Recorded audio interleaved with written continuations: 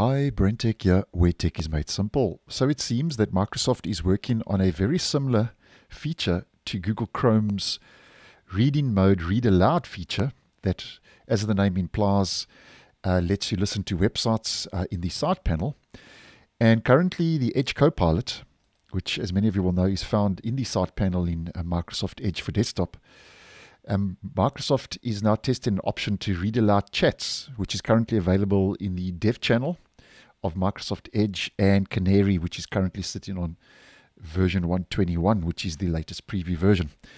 Now, this feature is on a controlled rollout. So, um, if you are testing features in those preview versions, this is exactly where you will see a little speaker icon for the read aloud. Now, as you can see, I haven't received it yet because it is on a controlled rollout, which is common for these brand new features. So, um, we're just going to head over once again to a GIF and a screenshot provided by Leo once again on X.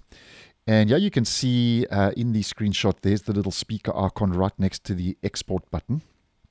And just to give you a general idea what Read Aloud is going to be all about. So you click on Read Aloud.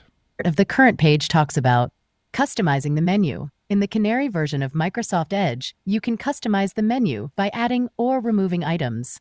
This feature is not and available in the stable version. Then obviously it pauses that read aloud feature. So very similar to the uh, reading mode read aloud feature in Google Chrome. And I actually think uh, this is a nice feature. I think this is a nice accessibility feature. Just having that option to be able to listen to your chat responses uh, in the side panel. And it's still early days, not available as yet uh, in the stable version of Microsoft Edge.